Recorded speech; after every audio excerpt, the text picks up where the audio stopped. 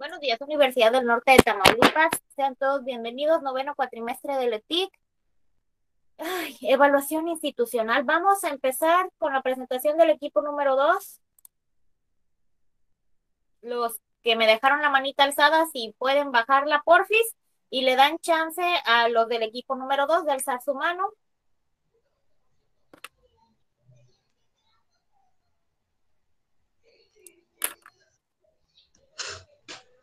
Tengo Marta Alicia, Yolanda, Wancia, Sandra, Erika, Amabel, Maleni, Linda, Nubia, Cintia,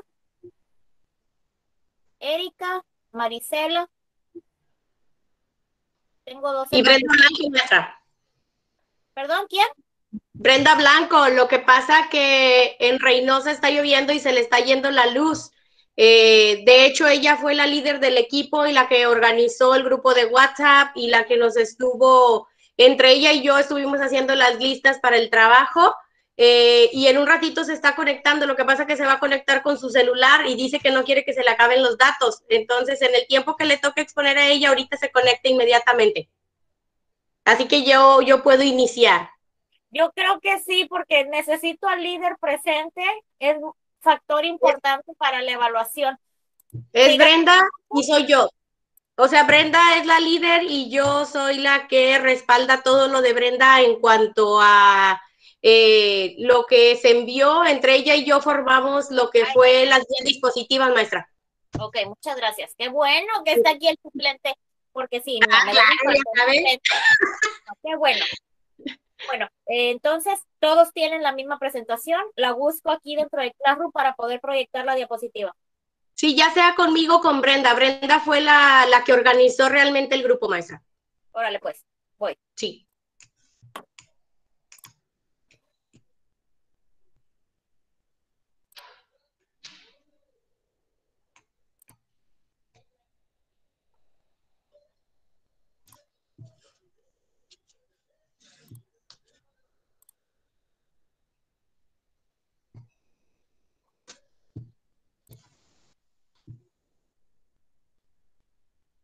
¿Ya tienen visión? Eh, sí, sí, ya la veo, maestra. Adelante. Sí, eh, bueno, nosotros somos el equipo número dos. Eh, este proyecto está realizado en una escuelita que nos expuso Brenda. Es muy diferente al que expusieron nuestras compañeras. Vamos a hablar de una primaria en, en, sus inicios, como, como Brenda nos la expuso, porque es una escuelita donde ella trabaja. Entonces, ella nos dio los datos, entonces por eso le digo que es muy diferente eh, nuestra presentación a la del equipo anterior, ¿verdad? Que, que hubo como más características para exponer. Eh, aquí es a grandes rasgos lo que conocimos la escuelita. Eh, el equipo 2 está conformado por 18 elementos que al final de las dispositivas se pondrán sus nombres. cada uno eh, en cada dispositiva fue hecha por equipos pequeños y abajo de, cada dispositiva dice el nombre de quiénes son los que la van a presentar y los que van a exponer.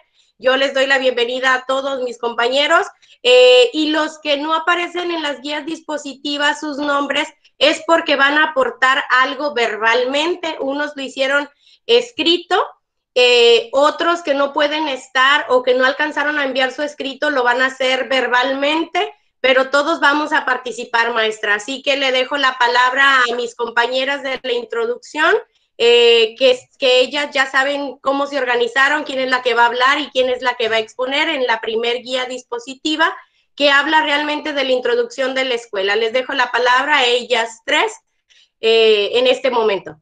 Ok, nada más denme chance un minutito, todavía no empiecen. Un minutito, ahorita regreso. Permítame.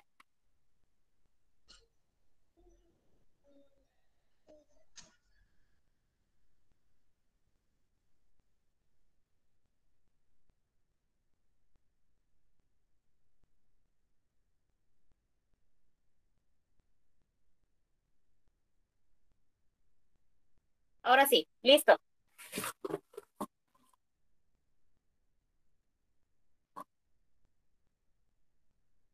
¿Listos? Eh, sí. compañeras, ¿les toca la introducción? Sí, permíteme. Evaluación institucional. Comúnmente hablar de evaluación está siempre dirigido al alumnado, sin embargo no se debe delimitar. Es ir más allá tomando en cuenta todos los aspectos relacionados con las condiciones y modos que dan como resultado los procesos educativos. Pueden ser los factores económicos, materiales, ambiente en el salón, etcétera, solo por mencionar algunos. Bueno, en la presente investigación planteamos aspectos relevantes al entorno de la evaluación de la escuela primaria Nueva Creación de la ciudad de Reynosa, Tamaulipas, establecida en una zona apartada, la cual cuenta con 180 alumnos, haciendo un énfasis al factor de rezago educativo y cómo es que afecta la falta de recursos económicos al desarrollo académico.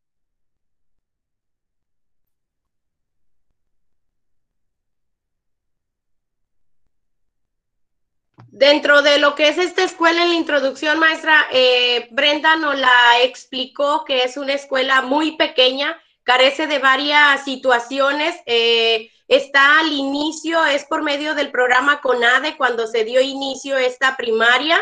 Eh, está compuesta por 180 alumnos. entonces, a grandes rasgos, ella nos la dio a mencionar y los puntos específicos que usted quería para su presentación se van a ir mencionando poco a poco dentro de las guías dispositivas. Le dejo la palabra a las compañeras del segundo punto. Así es, mi nombre es Erika Zavala y junto con mis compañeros pues trabajamos eh, en esta diapositiva. Eh, cabe mencionar que se eligieron las evaluaciones continuada, formativa, procesual, de resultado, inicial y final ya que se engloban con lo que se hace en la institución, mm, ya que desde que el docente llega al aula, pues hace un análisis para saber en qué nivel académico se encuentran los alumnos.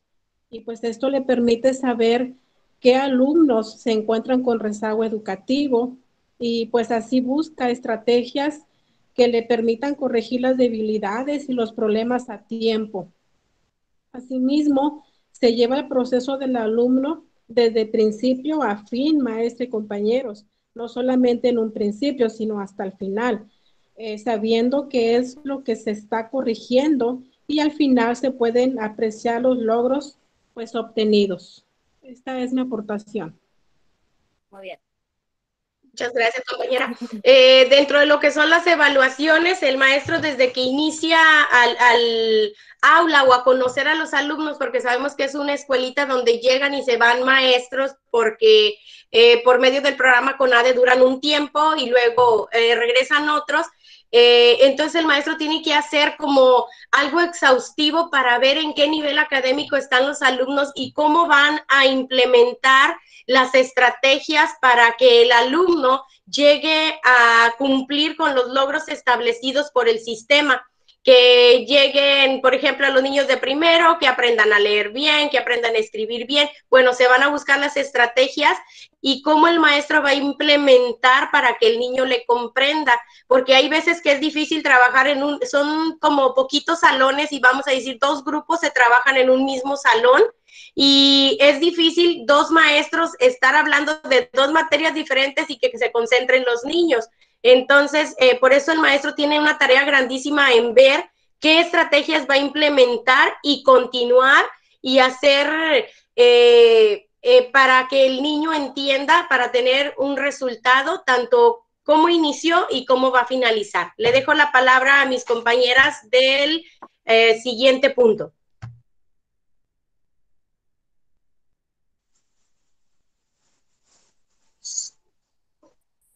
Es el punto tres, maestra, las características. Buenos días, este, mi nombre es Erika Patricia y me tocó exponer este punto. Pues estas son las características este, mencionadas en, este, el, número uno es democrática y no democrática. El dos es holística y orientadora. El primer punto, pues, se dice que es una escuela pequeña, no cuenta con mucho personal, le falta director, le falta personal administrativo, este, cuenta con maestros de apoyo y de gobierno. En el punto holístico y orientadora, este, pues ahí ahí hace falta contratación de maestras de apoyo para la mejor, el mejor aprendizaje de los alumnos. Y, y, y secuentemente, pues, hace falta porque son, son pocos maestros y ellos se encargan del trabajo que le corresponde al administrativo y al director. Entonces, están bajo presión, ¿sí? ¿Puede pasar a la siguiente diapositiva, maestra, por favor? Claro.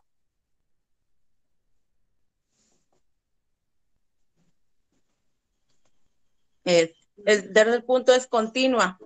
Bueno, ahí quiere decir que durante el ciclo escolar se ha continuado con las evaluaciones este, de, alumnos, la actualización de maestros, este, con mucha necesidad, ¿verdad? Porque lo poco mucho que se ha dado el, gobierno, pues se ha, se ha hecho efecto de eso, ¿verdad?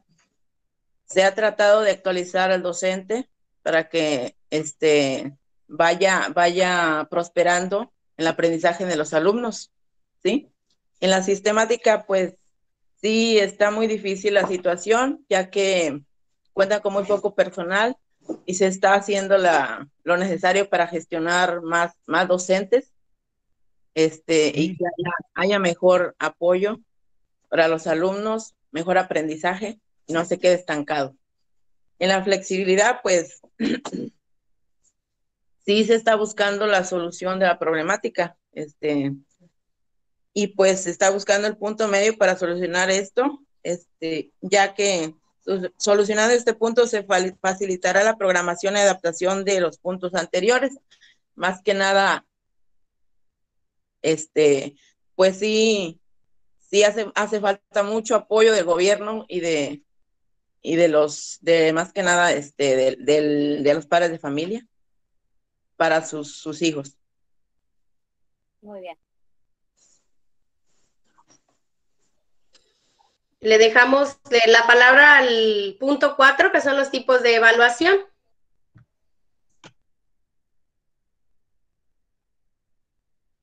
Bueno, a mí me tocaron los tipos de evaluación. Dice, examen externa.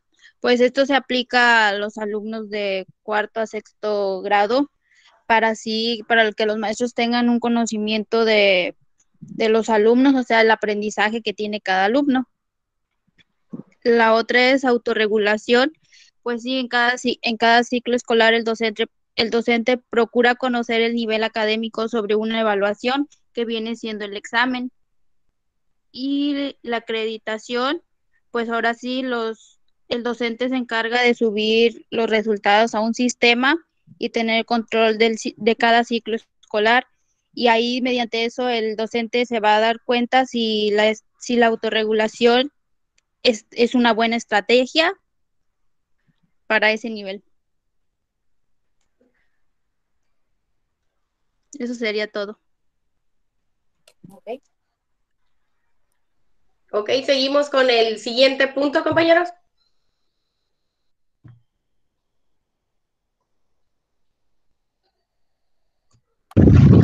Buenas tardes, maestra, compañeros. El tema que voy a abordar es la autoevaluación. En este caso hablaré del plantel educativo Nueva Creación, como anteriormente se mencionó.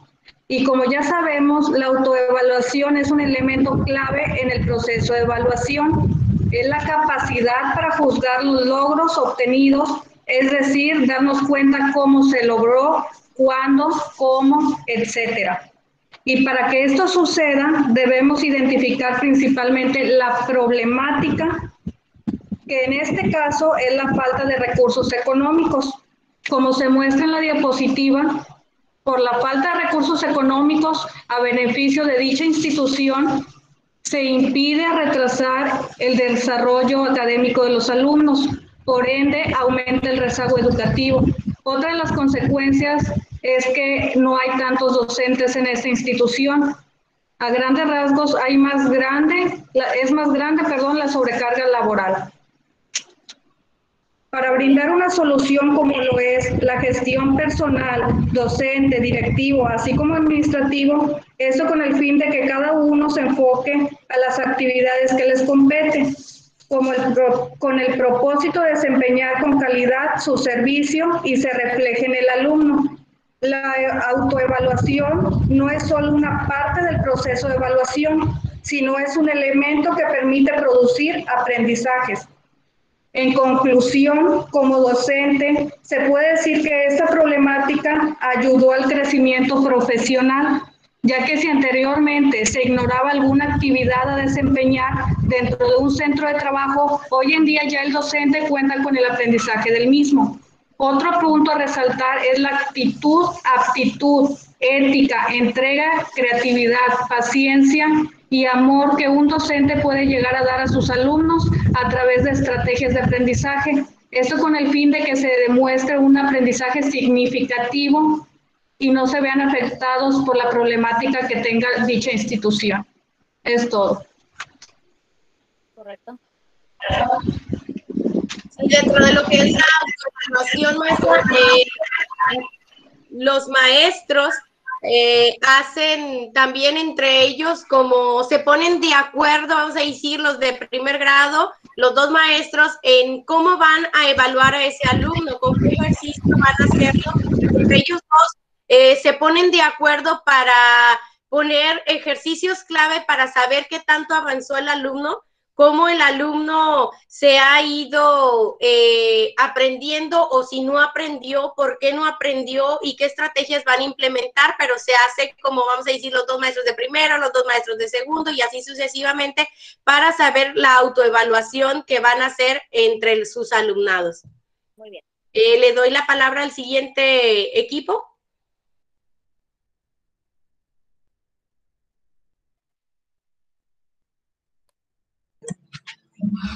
Eh, buenas tardes compañeros. Eh, a mí me tocó pues actores implicados en la evaluación de la escuela primaria Nueva Creación. Eh, entre los involucrados podemos encontrar los padres de familia.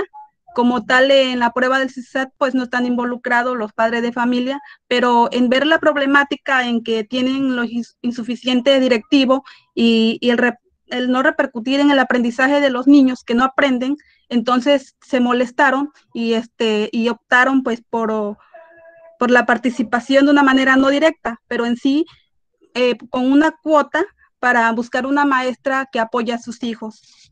Eh, en ellos también podemos encontrar los alumnos. Los alumnos pues realizan un examen del CISAT. Es un examen de conocimiento matemático escrito de comprensión lectora en el cual este, es una forma oral o escrita. Eh, también encontramos el docente. El docente, pues, como podrán ver, tiene un sinfín de responsabilidades y entre ellos conocer el nivel académico de cada alumno para que pueda tomar sus puntos de partida, así como llevar a cabo el trabajo directo y las necesidades de cada alumno. Para, para aplicar el examen, el docente lo realiza de forma individual, pregunta de forma oral y dos de los exámenes y una vez concluido analiza el nivel en que se ubica el alumno. Como pudimos ver, uh, observar es una gama de responsabilidades que incumben el maestro. Muchas veces incluye diseñar currículos, realizar tareas administrativa, la participación de evaluaciones internas, contribuir con actividades extracurriculares y apoyo bienestar a los estudiantes, así mismo como el proceso de contratar a los docentes. Por último, podemos observar está el supervisor escolar, que a él nada más, pues, eh, los docentes les brindan información de, de la zona escolar. Eh, Continuamos, compañera. Eh, pues dada la problemática, se habló de las oficinas de gobierno, pues para que asigne a puestos directivos a otros maestros. Se llegó también a un acuerdo en donde algunos padres de familia eh, pagaron y brindaron ayuda a una maestra de apoyo en el cual se encargó de aplicar el examen del DISAT o apoyar a los niños que no saben leer ni escribir, eh, niños de cuarto y sexto grados. Adelante, compañera.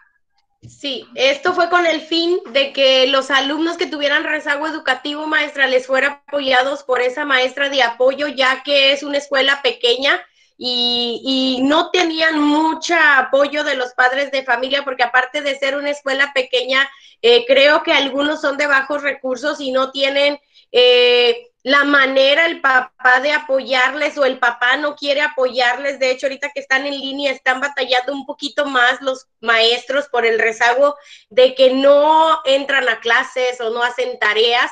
Y por esa razón también se ha implementado esto de poner una maestra eh, de apoyo para que les esté apoyando en esa área. Entonces, le dejo la palabra a los compañeros que les tocan los estresores en la evaluación. Sí, buenas tardes. Ah, tocó, soy Nubia, nos tocó los estresores de evaluación. Algunos de ellos es como la ambigüedad. Aquí una problemática en la escuela es como una falta de experiencia, no tener suficiente conocimiento para realizar una evaluación. En la, en la solución que podríamos tener es capacitar más al docente relacionado a cómo evaluar, ya que a veces no tienen realmente la, capacidad para, hacerlo, ya que a veces son, no son profesionales de acuerdo a lo que, lo que están dando.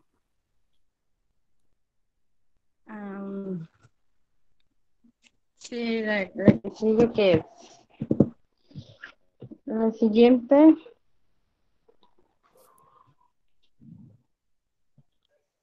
Si me puede pasar la siguiente, por favor. También alguno de ellos es el progreso de la carrera. Aquí la problemática es por no tener capacidad o criterio específico para realizar la evaluación. Aquí la solución del profesional es tener una buena organización adecuada a tiempo disponible.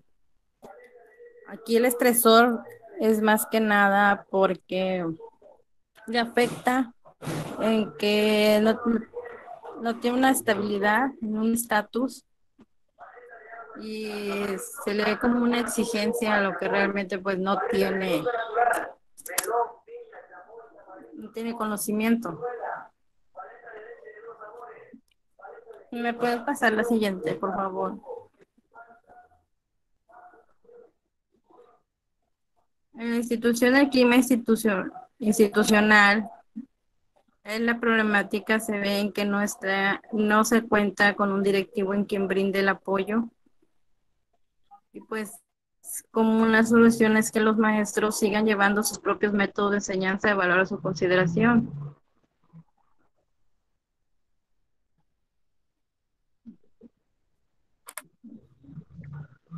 Sí, en cuanto al punto anterior, maestra, ¿sí me la podría regresar? Un poquito. Gracias. Eh, en cuanto al clima institucional, como dijo la compañera, la problemática es que no se encuentra con un directivo quien brinde el apoyo. Las mismas maestras son las que tienen que tomar las decisiones como directivo o llevar la carga administrativa eh, sobre el plantel a, llevar su su clase, de aplicar exámenes, de checar las estrategias, eh, de hacer sus juntas, tienen que llevar también la carga de lo que es un directivo y tomar decisiones propias como maestros, eh, tomar las decisiones, eh, si falta algo en el plantel, pues ellas, entre ellas, ponerse de acuerdo y tomar una decisión a falta de este directivo. Sabemos que la parte directiva es bien importante en la institución para que conlleve las cuestiones de la escuela, que si quieren una constancia, pues que se le haga una constancia, que si el director tiene que asistir a actualizaciones para que le enseñe al maestro o ahora el nuevo sistema de evaluar o un nuevo curso. Entonces, para ellas se les hace como un poquito más eh, esta sobrecarga de trabajo de llevar las clases y aparte tomar decisiones como administrativo es una problemática eh, bien importante y la solución, pues, que es esperar y solicitar a que se les ponga un nuevo eh, director, pero ahora sí permanente y que no sea nada más de un tiempo limitado. Eh, pasamos a la siguiente, que es la conclusión. Eh, la compañera que iba a dar la conclusión, le dejo la palabra. Mi nombre es Jenny y pues la conclusión es que debe de apoyar para preparar más a los maestros para que estos puedan gestionar, como mencionaba mi compañera ahorita, eh, no contar con un director pues es un problema bastante grave porque entonces los maestros tienen que hacer trabajo, como nos mencionaba ella, de director, de maestro y pues esto afecta a la educación que se les está brindando a los alumnos, ya que no pueden enfocarse al ciento en lo que les corresponde a ellos.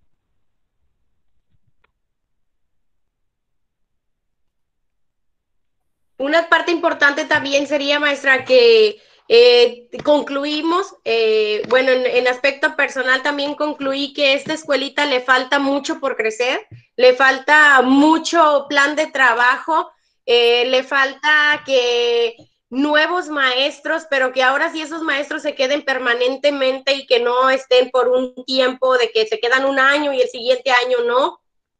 Creo que eh, hay mucho por hacer por esta escuelita, hay mucho que, que el gobierno tenga que implementar. Él quiere escuelas y nada más se abre de cierta manera como provisional para sanar la herida un poquito, pero no se da cuenta que llevar a cabo o crear una nueva institución lleva de muchos pasos y muchas personas que deben de trabajar ahí, porque realmente también los maestros tienen que hacer la parte de la limpieza de intendencia, porque tampoco cuentan con intendentes. Entonces, eh, para mí, eh, en a nivel personal, creo que le falta esta escuelita mucho. Eh, y el trabajo que están haciendo las compañeras de Brenda y Brenda en lo que es ahí como maestra, eh, es bastante y necesitan el apoyo y creo que en eso se está trabajando, maestra, para que esa escuelita salga adelante. Eh, les agradezco a mis compañeros que participaron. Fue algo difícil, maestra, le confieso, eh, hacer este trabajo en equipo. No me había tocado trabajar de esta manera con un equipo de 18 personas y que no nos ponemos de acuerdo, que unos pensamos una cosa, otros pensamos otra, o unos vimos los videos y sabíamos de qué se trataba y otros definitivamente no vieron los videos, pero bien que aportaban sus ideas erróneas pero salimos adelante. Aquí está el trabajo y les agradezco a cada uno de mis compañeros que aportaron en redacción, que aportaron con problemáticas, que aportaron aquí verbalmente. Les agradezco. Y una disculpa, Brenda no se ha podido conectar, maestra, no hay luz en el área donde ella vive en Reynosa y el celular no le está funcionando y y pues ahí está llorándole, pero pues digo, yo no, yo no puedo eh, ayudarte, pero aquí sacamos el trabajo adelante. Por eso ella y yo trabajamos en equipo con todo lo que nuestros compañeros eh, nos pasaron, ya sea por WhatsApp o ya sea por email. Aquí se expuso todo lo que ellos nos pusieron, tenían su tiempo de expresar lo que a lo mejor no expresaron en, en letra, pero sí en palabra eh, no quisieron hacerlo, bueno, ya no es culpa mía, maestras. La oportunidad se les dio y espero que hayamos cumplido con las características y el objetivo que usted tenía para nuestra tarea. Gracias. Muy bien, Pancia. Oye, eh, de aquí, de estos 20 que están en el equipo, me comentas que solamente 18 participaron. Pues éramos 18 en la lista que usted me mandó, o sea, la que vi yo en Classroom, de ahí saqué yo los nombres de todos los que estábamos unos no comentaban, pero como quiera los pusimos en el equipo. Otros hicimos grupos pequeños, unos se trabajaron porque eran los que iban a hacer redacción, otros iban a hablar. No sé qué pasó entre ellos porque no hablaron los que deberían de haber hablado, pero eh, pues no sé, maestra. Brenda es la que tiene la lista. Yo le hice lo que fue el listado de separación de las características del trabajo y ella designó el trabajo a cada uno de, nuestros compañeros. Realmente eh, yo era la parte escrita y redactora y ella era la parte de que tenía que estar hablando con nuestros compañeros. Ok, este, sí son 18 dentro del equipo, perdón, sí son 20 dentro del equipo 2. Les pregunto, eh, ¿Y dónde están los otros dos? Sí, te lo juro, son 20, porque aquí me estás mostrando 20 en la lista. Ah, bueno, la transmisión, ¿verdad? Miss. 30 integrantes. Lo que me ah, interesa es si todos colaboraron. independientemente de que si Brenda. o no, si contribuyeron a la investigación. Brenda es la que tiene esa lista, maestra. Ella es la que le puede dar esa información. De mi parte es todo y le dejo la palabra a Brenda. Gracias, maestra. bienvenida. Ay, mi, sí me escucha, es que yo los escucho entrecortadas y todo distorsionado.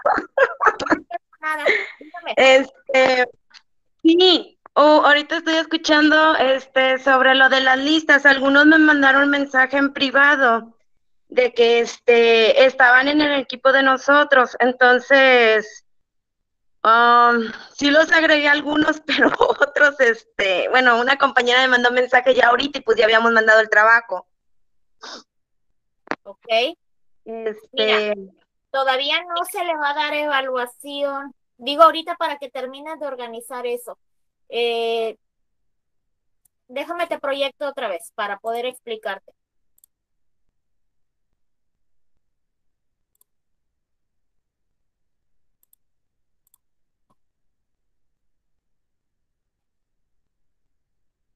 Ok, aquí hay 20 personas. Deben ser, déjame busco la otra hoja. Acá está, equipo número 2. Debe coincidir con esta lista, lo que me estás mostrando aquí. Deben ser exactamente los mismos integrantes, ¿ok? Si ya los tienes igualitos, y si todos participaron, digo, a lo mejor no pudieron exponer de manera oral todos, pero sí les apoyaron a usted, Brenda, y a usted, Wamsia, con la captura de la información, agregarlos aquí. Siempre que hayan aportado algo. Si no dio señales de vida, si no investigó, si no habló, entonces no incluirlo en el equipo porque tuvieron tiempo suficiente, yo creo que desde el sábado pasado hasta el viernes ayer en la noche, para que se hubiera manifestado, para que les hubiera indicado, ¿sabes qué? No pude, pero yo hago esta parte, lo que sea. Yo entiendo que trabajan, que el internet, que la situación geográfica, que tengo tres, cuatro hijos, todo eso lo entiendo, pero en nosotros está la organización de nuestras actividades para cumplir el objetivo. A lo mejor no puedo cumplir eh, completamente o con todos los requerimientos que me está pidiendo la organización de, su equipo, porque observo que se organizaron muy bien, hicieron líder, sublíder, equipo y subequipos, o sea, llevaban como que sus ramas bien puestas y de esa manera llevaban el control del trabajo. Entonces, si ya organizaron ese control del trabajo, ya era responsabilidad y compromiso de cada uno de los integrantes cumplir con el objetivo. Entonces, esta hoja que está aquí, nada más. Me permite, Mire, sí tuvimos varias, varias cuestiones. Ah, perdón. Espérame. Sí. Esta hoja que está aquí, si ya trabajaron todos, así déjenla. Pero si ustedes este, tienen por ahí dato de quien no aportó absolutamente nada, retirarlo. Pero que ni siquiera se haya comunicado. ¿Ok?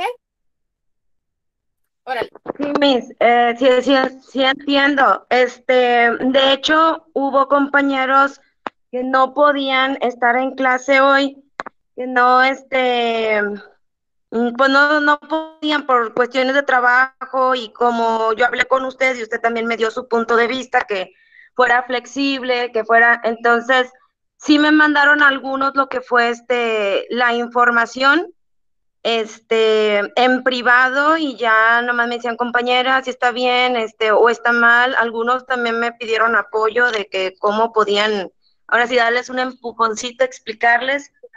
Eh, pero yo tenía una duda, Miss, y quería comentárselo. No sé si era eh, o estoy mal, si estaba bien lo que expusieron ahorita las compañeras referente a la escuela. Yo que así como usted me mandó mensaje, así lo comprendí.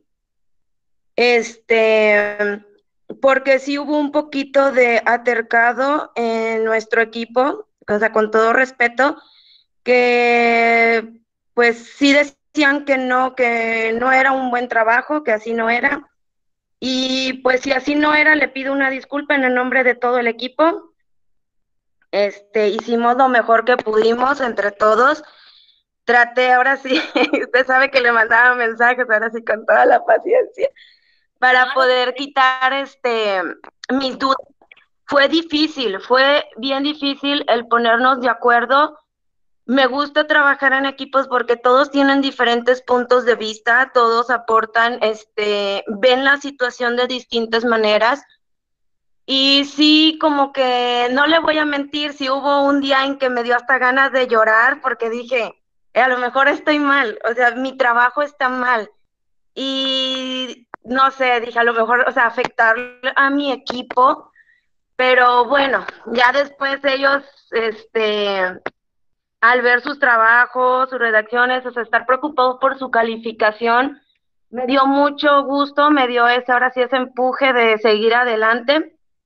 Pero sí tenía yo esa, esa pequeña duda, que si no era así, pues entonces sí le pido disculpa por el nombre de todo el equipo, Miss. Fíjense, les voy a compartir algo que no es la primera vez que me dicen, maestra, es que quería llorar porque no cumplía con lo que usted me decía. No es este que sigan al pie de la letra o que yo le diga, aquí está el instructivo para que lo haga o yo quiero que lo haga de esta manera. No. Generalmente cuando ponemos, o yo al menos cuando pongo proyectos que no tienen una, un machote, una tabla o algo por el estilo, algo por el estilo, es porque yo quiero saber de qué manera lo harían ustedes. Ahora, eh, una pregunta antes de irnos más adentro. Juancia, ¿le puedes explicar al grupo qué es CISAT? El CISAT es el sistema de evaluación, es una eh, prueba que se hace al alumnado tanto en lectoescritura, lectura y compresión, eh, que se le hace a los alumnos como una tipo de evaluación eh, al principio del año para saber cómo están y de ahí parte el maestro para sacar sus estrategias y su metodología a trabajar con el alumnado. Que ahorita el CISAT, ahora que regresemos, ojalá y Dios quiera en agosto a las clases, va a estar bien difícil para todos los maestros eh, ver ¿En qué se quedó el alumno? Pues en qué se quedó, pues mi hija va a pasar a segundo, pero está en mentalidad de preescolar. Mi hijo va a pasar a primera y secundaria y tiene mentalidad de sexto. Entonces, ahora sí que es un reto grandísimo para todos esos maestros este prueba CISAT al inicio del próximo ciclo escolar. Ok, muy bien. Ahí les va. CISAT es un instrumento evaluativo que sus siglas significan Sistema de Alerta Temprana. Ese sistema de alerta temprana se encarga de evaluar tres rubros, que es la toma de lectura, la producción de textos y el cálculo mental. Así como dice Wamsia, se hacen esos tres instrumentos evaluativos, pero uno de los rasgos que tiene esta evaluación es que como docente debes tener al alumno enfrente y de manera individual. A ver, cálculo mental, 4 más 5, vámonos. 3 más 8, el que sigue, así. Ahora te voy a tomar lectura y quiero ver cuántas palabras por minuto estás dictando y ahora quiero ver cuántas ideas tienes de este instrumento que acabas de leer. ¿Ustedes creen que se puede evaluar eso en línea? Claro que no. Bueno, sí se puede. Sí se puede porque tenemos el instrumento y la herramienta, pero por supuesto que no nos va a arrojar los criterios que nosotros necesitamos para evaluar. ¿Por qué? Porque pasa lo siguiente, a veces, a veces, espero que no siempre, tienes por un lado al papá y le está, respóndele esto, y si no le al papá, le está soplando por un lado al niño qué es lo que tenga que decir. Ahora que regresen en agosto, el niño no me va a dar el 10 que me estaba dando en línea. Claro que no. Y ahí van a tener otro estresor porque no van a coincidir con la calificación que le tenían hace dos, tres meses, supongamos que regresamos en agosto, supongamos, regresamos en agosto, no va a coincidir el criterio que tenía en línea a cuando está, ahora que va a regresar a presencial, va a llegar el papá, se va a poner bien mala onda, oiga, ¿por qué si en la casa me daba estos resultados? Pues sí, pero aquí en el aula no está usted por un lado. Aquí en el aula lo estoy observando yo. Ya cambió el contexto, ya está con niños de su edad, ya está viendo otras y todo eso se lo tienes que entregar en un reporte al padre de familia. Entonces, ¿por qué le pregunté qué es CISAT? Porque es un instrumento evaluativo. Aquí lo que ustedes hicieron fue evaluar la situación de enseñanza y aprendizaje por medio de esos tres grupos en una escuela de nueva creación. Por lo tanto, los puntos que ustedes integraron dentro de la investigación y la evaluación a la institución por supuesto que van a ser muy diferentes a los que me va a entregar el equipo 1, a los que me entregó el equipo 3, 4, 5. Cada uno de ustedes me va a entregar una investigación diferente. Sin embargo, los puntos que están ahí dentro de la rúbrica son exactamente los mismos. Los puntos que están dentro de la rúbrica es lo único que se va a respetar. Lo que va a cambiar va a ser el nivel educativo y los instrumentos evaluativos que ustedes van a tener que reunir, capturar, comparar, concluir y exponer. Entonces, no se preocupen de que si es lo que yo quiero o no. Es lo que a ustedes les va a arrojar la investigación. Yo no les voy a decir, estuvo mal aquí, no te voy a calificar, no es lo que yo quiero, porque no es lo que yo quiero, es lo que su investigación les arrojó. Entonces, siéntanse en la seguridad y en la garantía de que si cumplieron con el trabajo, de que si están aquí al frente, es porque hubo un plan, hubo organización, existió comunicación, hubo estresores, porque ningún trabajo es fácil, ninguno. No, siento yo porque es lo que me ha dicho la mayoría maestra, es que casi lloro, no por querer hacerlos llorar o por querer hacerlos sufrir, sino que a mí me interesa o a mí me gusta que lo que no podemos vivir en presencial, lo podamos experimentar ahorita en línea. Que no se les olvide que un día estuvimos allá afuera y que un día vamos a regresar. Entonces, estar aquí atrás en la pantalla no quiere decir que sea fácil, no quiere decir que si yo voy y le explico al docente, el docente me vaya a dar chance, porque ya somos adultos, ya somos profesionales, ya tenemos muchas habilidades y no hay que olvidarse de todo eso que vivimos de manera presencial. Ya casi regresamos y eso hay que tenerlo bien en cuenta. La dificultad ahí va a estar, pero en nosotros está la capacidad y la resiliencia para poder sacarlo a flote. Entonces, ¿todo bien, chavos? Hasta ahorita todo ha estado bien, no, no hay de qué preocuparse. Les felicito, un fuerte aplauso. Gracias, maestra. Sí, gracias. Gracias, maestra. Quiero seguir escuchándolos para... Y ahí disculpen mi... Si alguien de, de, su equipo quiere exponer algo o una experiencia o un estresor que no hayan podido compartir durante la presentación, adelante. Ahora es cuando, compañeros. Pues, no, no que, no que había muchos estresores. ¡Órale! A ver, compañera. Este, yo, ah, yo también quiero hablar. ya nada. Este, una de las cosas, bueno, de experiencia que yo tuve al trabajar ahí, es que sí es demasiado, demasiada la carga laboral debido a que hace falta mucho, o sea, no teníamos director, la supervisora solamente iba una vez al mes porque pues tiene a cargo más de, de 10 escuelas, entonces prácticamente nosotros tomábamos eh, las decisiones que era lo mejor. El examen del CISAT lo aplicábamos al inicio y lo aplicábamos al final casi al final del ciclo. ¿Por qué? Porque algo que nos, nos enseñaban, bueno, algo que se aprendió fue que al inicio se aplica el CISAT, el examen, para ver que el niño, cómo está, qué es lo que tú puedes implementar. Entonces, hacíamos un plan de trabajo en cuestión de que si tienes 20 niños, no vas a decir que al terminar el ciclo vas a terminar, eh, que los niños, los 20 niños, un ejemplo de primer grado, sepan leer, porque cada niño aprende distinto. Entonces, basados en eso, nos tomábamos metas. Por ejemplo, eh, de 20 niños, nosotros decíamos, ok, al menos 15 que lleguen a un nivel eh, que deberían de estar, no sé, de primer año, que los niños aprendan a leer, a escribir, las sumas, lo básico. Así es, no, yo no voy a salir ya porque yo quiero dormir ya para, final, para al final se volvía a aplicar el examen y de ahí se sacaban las gráficas.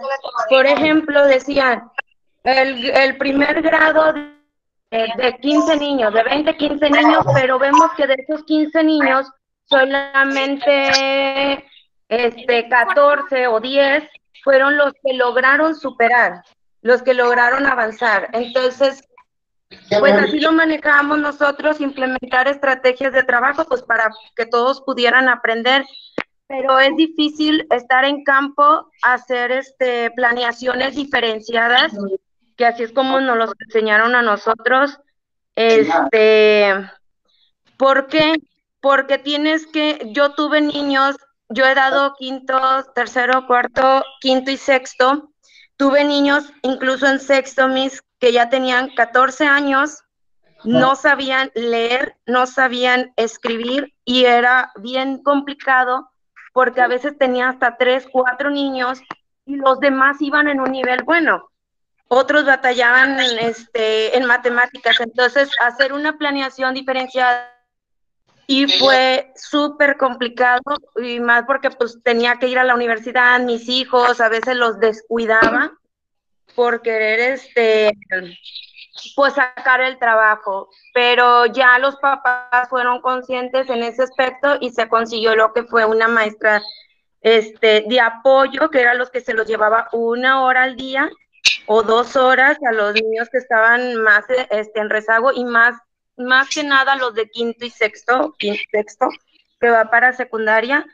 Y este, y ya nos aligeró un poquito la carga, porque como dice como usted explicó, en cuestión matemática, no, no lo podíamos hacer realmente a todo, al alumno enfrente de todos, porque luego ya se lo aprendí.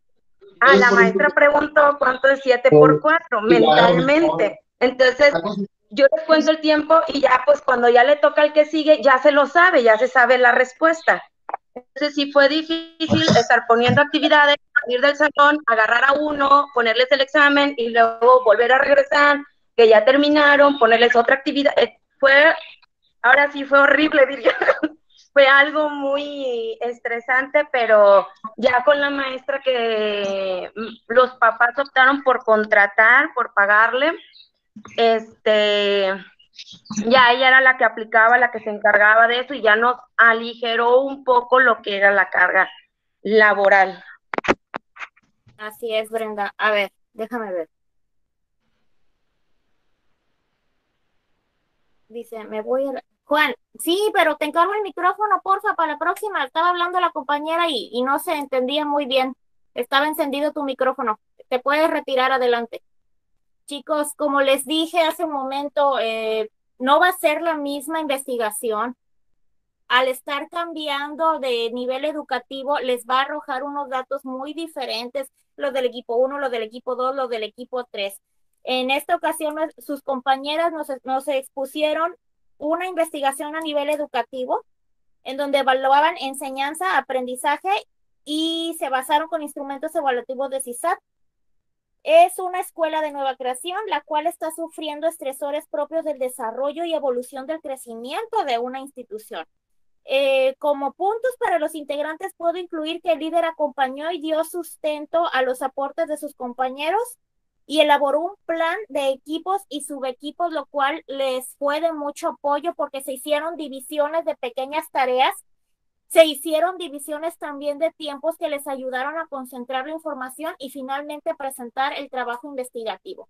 Entonces, chicos, cumplieron con el objetivo. No, está de más que les diga no se estresen porque yo sé que se van a estresar, porque nos gusta hacer nuestro trabajo bien hecho.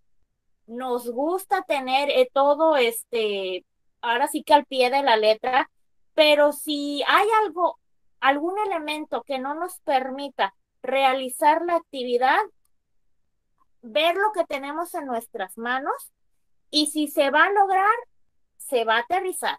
Si no se puede aterrizar, entonces sí, no causarnos ese burnout, esa quemazón emocional que nos provoca el que no tengamos el control, pero sí buscar otra estrategia para que se pueda resolver en el mundo. Entonces, vamos a concluir hasta aquí les voy a detener la grabación